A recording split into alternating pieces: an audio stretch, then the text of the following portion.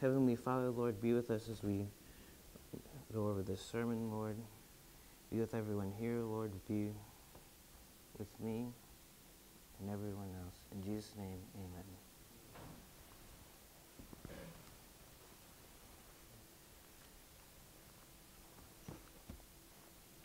Good morning, happy Sabbath.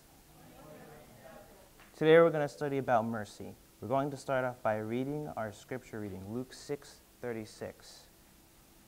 Say amen when you're there.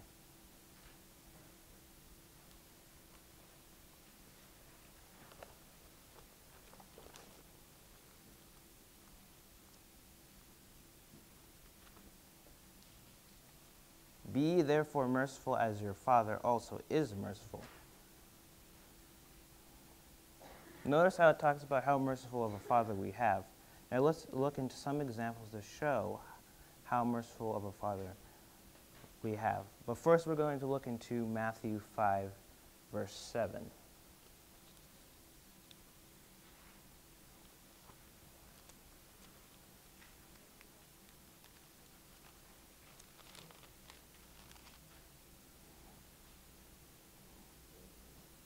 Blessed are the merciful, for they shall obtain mercy.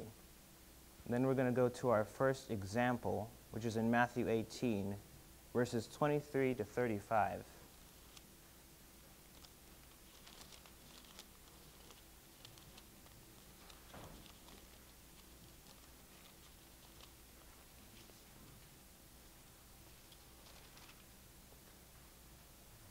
Therefore is the kingdom of heaven likened unto a certain king, which would take account of his servants.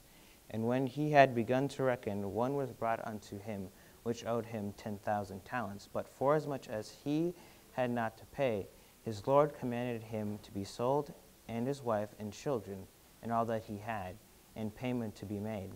The servant therefore fell down and worshipped, saying, Lord, have patience with me, and I will pay thee all. Then the Lord of the ser- servant was moved with compassion and loosed him and forgave him the debt. But the same servant went out and found one of his fellow servants which owed him an hundred pence, and he laid hands on him and took him by the throat, saying, Pay me that thou owest. And his fellow servant fell down at his feet and besought him, saying, Have patience with me, and I'll pay thee all. And he would not, but went and cast him into prison till he should pay the debt. So when his fellow servants saw what was done, they were very sorry and came and told unto their Lord all that was done. Then his Lord, after that he had called him, said unto him, O thou wicked servant, I forgave thee all that debt because thou desiredst me. Shouldst not thou also have had compassion on thy fellow servant, even as I had pity on thee? And his Lord was wroth and delivered him to the tormentors till he should pay all that was due unto him. So likewise shall my heavenly Father do also unto you, if ye from your hearts forgive not every one of your brothers their trespass.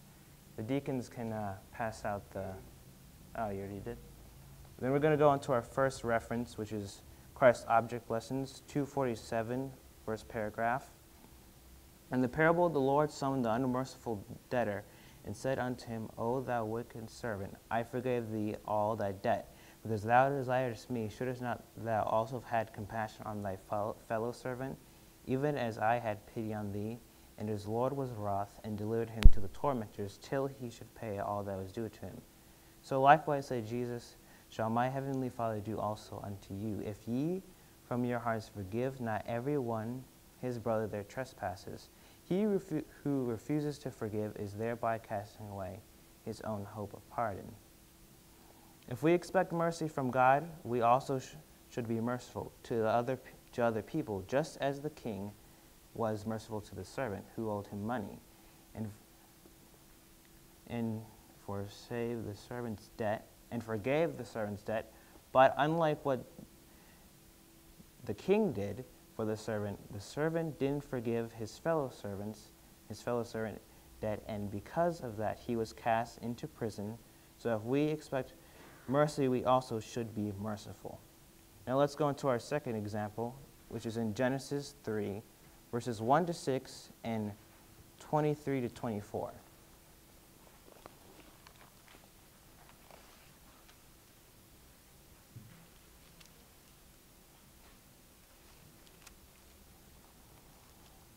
Now the serpent was more subtle than any beast of the field which the Lord God had made. And he said unto the woman, Yea, hath God said, Ye shall not eat of every tree of the garden. And the woman said unto the serpent, we may eat of the fruit of the trees of the garden, but of the fruit of the tree which is in the midst of the garden, God hath said, Ye shall not eat of it, neither shall ye touch it, lest ye die. And the serpent said unto the woman, Ye shall not surely die. For God doth know that in the day ye eat thereof, then your eyes shall be opened, and ye shall be as gods, knowing good and evil. And when the woman saw that the tree was good for food, and that it was pleasant to the eyes, and a tree to be desired to make one wise, she took of the fruit thereof, and did eat, and gave also unto her husband with her, and he did eat. Now we're going to go down to verse 21. Unto Adam also and to his wife did the Lord God make coats of skins and clothe them.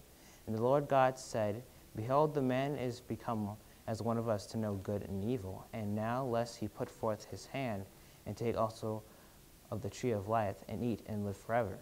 Therefore, the Lord God sent him forth from the Garden of Eden to till the ground from whence he was taken. So he drove out the man, and he placed at the east of the Garden of Eden cherubims and a flaming sword which turned every way to keep the way of the tree of life.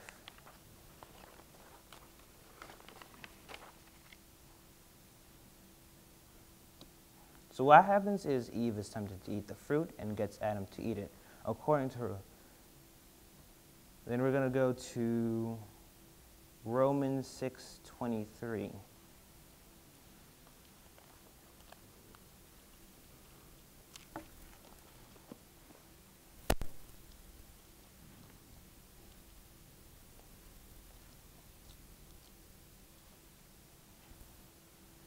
For the wages of sin is death, but the gift of God is eternal life through Jesus Christ our Lord.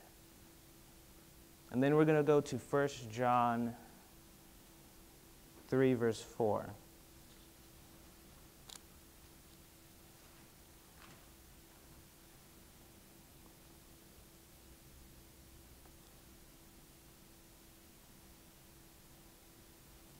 For the wages of sin is death, but the gift of God is eternal life through Jesus Christ our Lord. Now let's go to our reference in Patriarchs and Prophets, chapter 6, page 82. For nearly a thousand years Adam lived among men, a witness to the result of sin. Faithfully he not to stem the tide of evil. He had been commanded to instruct his posterity in the way of the Lord, and he carefully treasured what God had revealed to him, and repeated it to succeeding generations.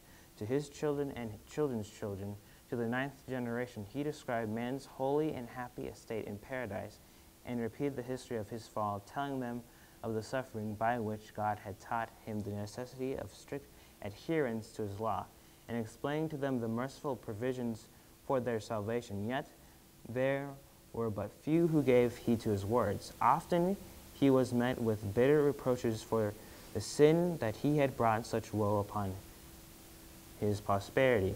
Adam's life was one of sorrow, humility, and contrition. When he had left Eden, the thought that he must die thrilled him with horror. He was first made, he was first made acquainted with the reality of death in the human family when Cain, his firstborn son, became the murderer of his brother. Filled with the keenest remorse for his own sin, doubly bereaved in the death of Abel and the rejection of Cain. Adam was bowed down with anguish. He witnessed the widespread corruption that was finally to cause the destruction of the world by a flood.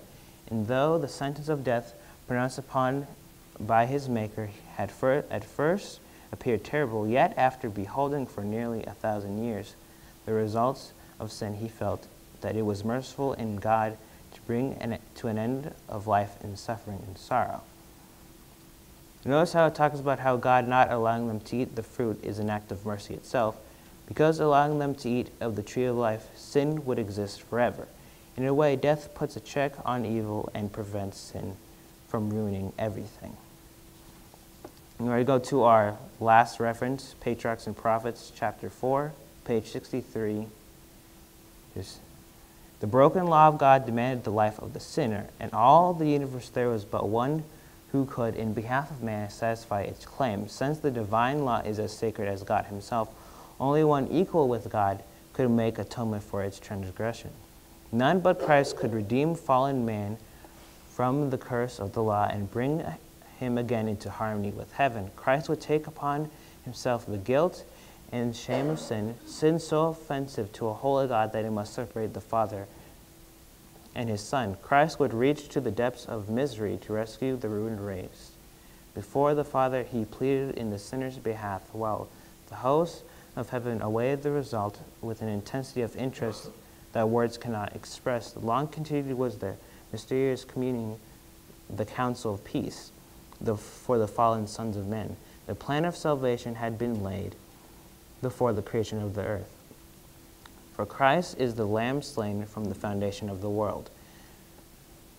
Yet it was a struggle, even with the King of the universe, to yield up his Son to die for the guilty, for his begot of the world that he gave his only begotten Son, that whosoever believeth in, in him should not perish, but have everlasting life. Now, what were the two commandments even Adam broke? Go to Exodus 20, verses 3 and 14.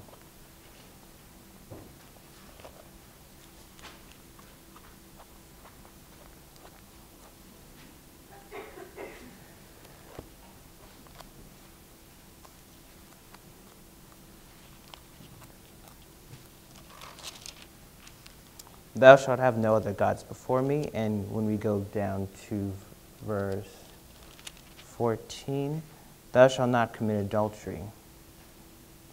Because Adam and Eve sinned, Christ had to sacrifice his life by doing so.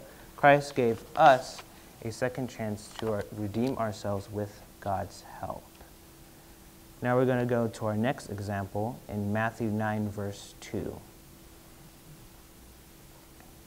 Say amen when you're there.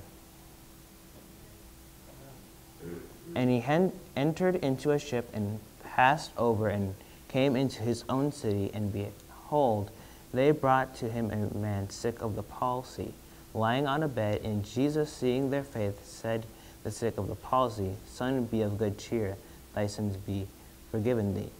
This is an act of mercy because not only did Jesus heal him, but he also forgave his sins. And let's go to down to verse 27 for our next example. Say amen when you're there. And when Jesus departed thence, two blind men followed him, crying and saying, Thou son of David, have mercy on us. And when he was come into the house, the blind men came to him, and Jesus saith unto them, Believe ye that I am able to do this? They said unto him, Yea, Lord. Then touched he their eyes, saying, According to your faith it will be unto you. And their eyes were opened. And Jesus straightly charged them, saying, See that no man know of it. The story of the blind men is an example of mercy because Jesus restored the two men's sight. Now we're going to do two more examples together. So the first one's going to be Matthew 15, verses 22 to 28. And the next one's going to be Matthew 17, verses 15 to 18. Say amen when you're there. Then Jesus went thence and departed into the coast of Tyre and Sidon. And behold, a woman of Canaan came out of the same coast and cried unto him, saying, Have mercy on me, O Lord, thou son of David. My daughter is grievously vexed with the devil. But he answered her not a word. And his disciples came and besought him, saying, Send her away, for she crieth after us. But he answered and said, I am not sent but unto the lost sheep of the house of Israel.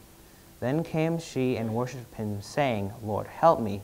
But he answered and said, It is not meet to take the children's bread and to cast it to the dogs. And she said, Truth, Lord, yet the dogs eat of the crumbs which fall from their master's table.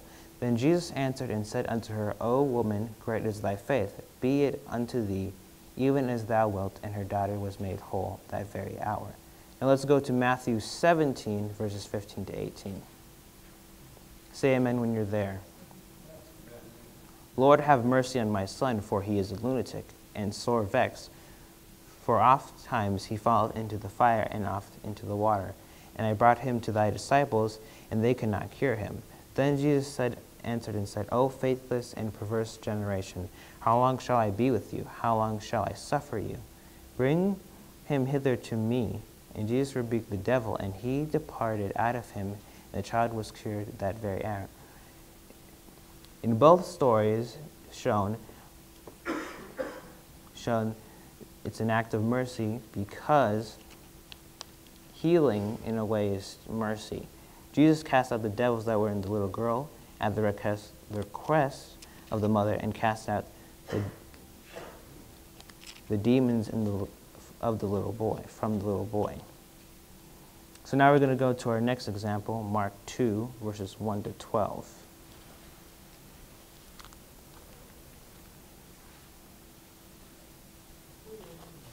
Say amen when you're there. And again he entered into Capernaum after some days. It was noised that he was in the house, and straightway oh, many were gathered together, insomuch that there was no room to receive them, not so much as about the door, and he preached the word unto them. And they came unto him, bringing one not so sick of the palsy, which was born afore. And when they could not come nigh unto him for the press, they uncovered the roof where he was, and when they had broken it up, they let down the bed wherein the sick of the palsy lay. When Jesus saw their faith, he said unto the sick of the palsy, Son, thy sins be forgiven thee. But there was certain of the scribes sitting there and reasoning in their hearts, Why does this man speak blasphemies? Who can forgive sins but God only? And immediately when Jesus perceived in his spirit that they so reasoned with themselves, he said unto them, why reason ye these things in your hearts? Whether it is easier to say to the sick of the palsy, Thy sins be forgiven thee, or to say, And take up thy bed and walk. But that ye may know that the Son of Man hath power on earth to forgive sins. He saith to the sick of the palsy, I say unto thee, Arise and take up thy bed and go into thine house. Into thine house. And immediately he rose, arose, took up the bed, and went forth before them all, insomuch that they were all amazed and glorified God, saying, We saw it never in this fashion. Notice how mercy isn't always, isn't always pardoning a person's sin or giving a person a second chance, but instead, mercy can also be healing a person and also casting out devils. Let's go to our next example in Genesis 21 1 to 19.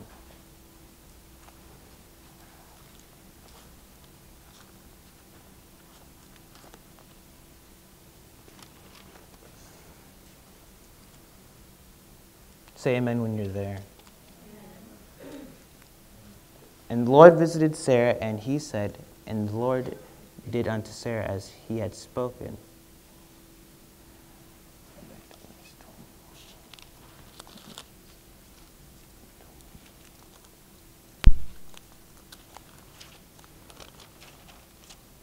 And, it, and the Lord visited Sarah as he had said, and the Lord did unto Sarah as he had spoken. For Sarah conceived and bare Abraham a son to his old age at the set time which God had spoken to him. And Abraham called the name of his son that was born unto him, whom bare to him Isaac. And Abraham circumcised his son Isaac, being eight days old, as God had commanded him. And Jonah was an hundred years old when his son Isaac was born unto him. And Sarah said, God hath made me to laugh, so that all that hear will laugh with me. And she said, Who would have said unto Abraham that Sarah would should have given children suck? For I have borne him a son in his old age. And the child grew and was weaned. And Abraham made a great feast the same day that Isaac was weaned. And Sarah saw the son of Hagar the Egyptian, which she had borne unto Abraham, mocking. Wherefore she said unto Abraham, Cast out this bondwoman and her son, for the son of this bondwoman shall not be heir with my son, even with Isaac. The thing was very grievous in Abraham's sight because of his son. And God said unto Abraham, Let it not be grievous in thy sight because of the lad, and because of thy bondwoman, and all that Sarah hath said unto thee. Hearken unto her voice, for in Isaac that shall thy seed be fulfilled. And also of the son of the bondwoman will I make a nation, because he is thy seed. And Abraham was, rose up early in the morning and took bread and a bottle of water, and gave it unto Hagar, putting it on her shoulder. And the child sent her away, and she departed and wandered in the wilderness of Beersheba. And water was spent in the bottle, and she cast the child under one of her shrubs. And she went and sat her down over against him a good way off, as it were a bow shot. For she said, Let me not see the death of the child. And she sat over against him, and lifted up her voice and wept. And God heard the voice of the lad, and the angel of God called to Hagar out of heaven, and said unto her, What alieth thee, Hagar? Fear not, for God hath heard the voice of the lad where he is. Arise, lift up the lad, and I hold him in thine hand, for I will make him a great nation. And God opened her eye, and God opened her eyes, and she saw a well of water, and she went and filled the bottle with water and gave the lad drink. Even though Ishmael mocked Isaac, the Lord was still merciful to save him. And also how the angel comforting his mother is, is also an act of mercy. And let's go to our last example. First, we're going to be going to Jonah 1, verse 1 to 15, and then 17. Say amen when you're there.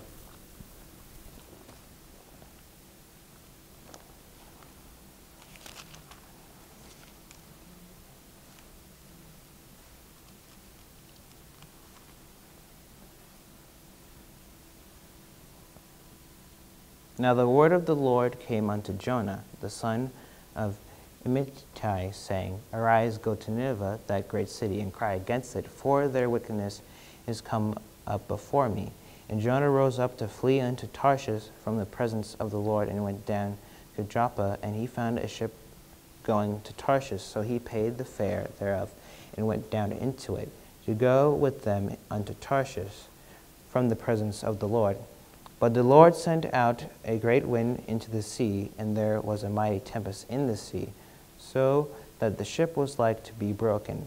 Then the mariners were afraid, and cried every man unto his God, and cast forth the wares that were in the ship into the sea, to lighten it of them. But Jonah was gone down in the side of the ship, and he lay and was fast asleep. So the shipmaster came to him and said unto him, What meanest thou, O sleeper? Arise, call upon thy God. So be that God will think upon us, that we perish not. And they said, Every one to his fellow come, and let us cast lots, that we may know for whose cause this evil is upon us. So they cast lots, and the lot fell upon Jonah.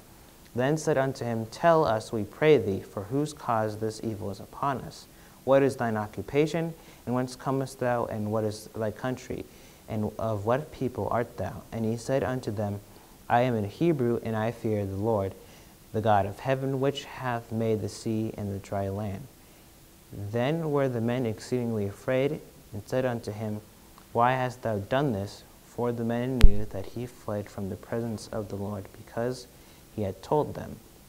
Then said unto him, What shall we do unto thee, that the sea might be calm unto us? For the sea wrought and was tempestuous. And he said unto them, Take me up and cast me forth into the seas, so shall the sea be calm unto you, for I know that for my sake this great temp- tempest is upon you. Nevertheless, the men routed hard to bring it to the on, on to the land, but they could not, for the sea wrought and was tempestuous against them. Wherefore they cried unto the Lord and said, We beseech thee, O Lord, and we beseech thee, let us not perish for this man's life, and lay not upon us innocent blood, for thou, O Lord, hast done it it pleased thee. So they took up Jonah and cast him forth into the sea, and the sea ceased from her raging. Then the men feared the Lord exceedingly and offered a sacrifice unto the Lord and made vows. Now the Lord had prepared a great fish to swallow up Jonah, and Jonah was in the belly of the fish for three days and three nights. Now let's go to Jonah 2, verses 1 and 10. Then Jonah prayed unto the Lord his God out of the fish belly.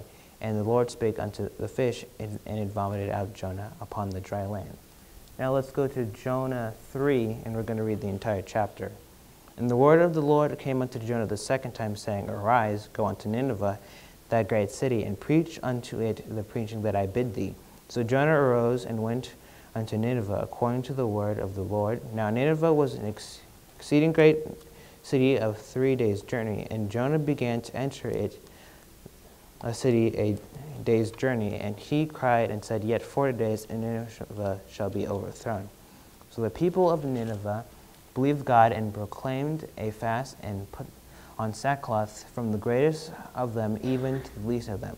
From word came unto the king of Nineveh, and he arose from his throne, and he laid his robe from him and covered him with sackcloth and sat in ashes. And he caused it to be proclaimed and published through Nineveh by the decree of the king and his nobles, saying, Let neither man nor beast nor herd nor flock taste anything, let him not feed nor drink water, but let man and beast be covered with sackcloth and cry merrily unto God. Yea, let them turn every one from his evil way and from the violence that is in their hands. Who can tell God will turn and repent and turn away from his fierce anger that we perish not? And God saw their works, and they turned from their evil way. And God repented of the evil, and he said that he would not do unto them, and he did not. Now let's go back to our scripture reading, Luke 6 36. Say amen when you're there.